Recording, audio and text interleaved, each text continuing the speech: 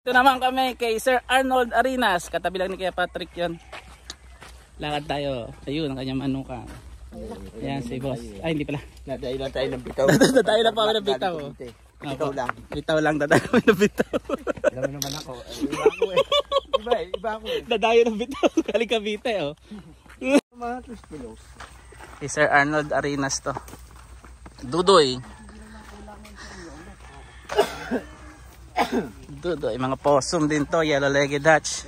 Gilmore. Possum. Si Sir Arnold. Hindi mapapalapit ako sa atin. Oo. Mga, laban dyan, ano? Ito matanda na. Uh. Possum. Dami. Double nose. Pre.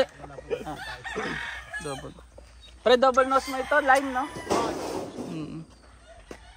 Grabe. Nalagyan ni pare Arnold ng leg band. Yan yung nakapost na picture, guys. Ito. oh. Ting!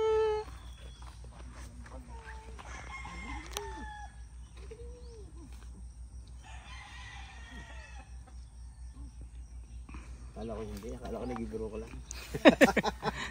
Halos mag... Hindi ko na nga tinigay din sa pakikiusap eh. Akala ko nagibiro ka lang. Hindi. Grabe. Early bird. Mm. Sweater Gilmore. Grabe. Imagine kung anong lalabas. Madali na makita kung anong kulay lalabas eh. Oo. Na, Nalulog na medyo dirty dirty. ng konti ng gwapo na pula mata. Yan na pili mo ma'am. Tawanan ka. Napigatawanan ka oh. Yan. Uppercut ka mamaya. Gilmore. Si Camille yan. Yan ngayon si Camille. Mga pangalan tayo doon. Yun si Jeff yun eh. Pogi yun eh. si Camille to.